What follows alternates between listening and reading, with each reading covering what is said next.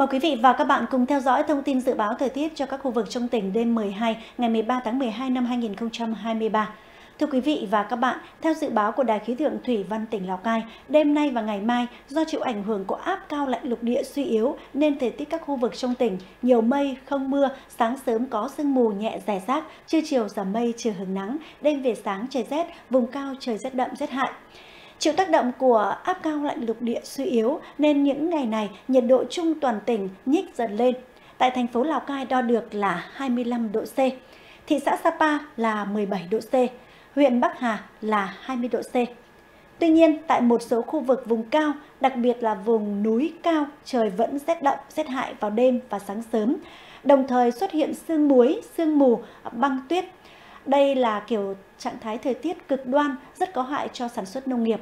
Do vậy, bà con nông dân cần nghe theo hướng dẫn của các khuyến nông viên tại địa phương, chủ động áp dụng các biện pháp bảo vệ cây trồng vật nuôi để giảm thiểu thấp nhất những thiệt hại đáng tiếc có thể xảy ra.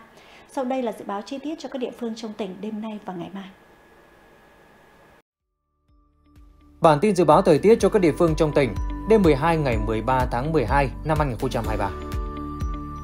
Vùng đồi núi thấp, nhiều mây, có mưa, mưa rào và rông rải rác, cục bộ có nơi mưa vừa mưa to, gió đông nam cấp 2, đêm về sáng trời lạnh, nhiệt độ từ 21 đến 25 độ C, độ ẩm trung bình trên 90%.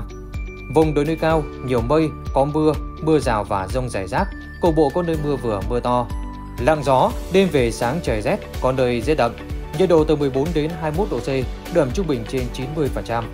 Thành phố Lào Cai nhiều mây, có lúc có mưa, mưa rào và rông, gió đông nam cấp 2, đêm về sáng trời lạnh, nhiệt độ từ 21 đến 25 độ C, độ trung bình trên 85%.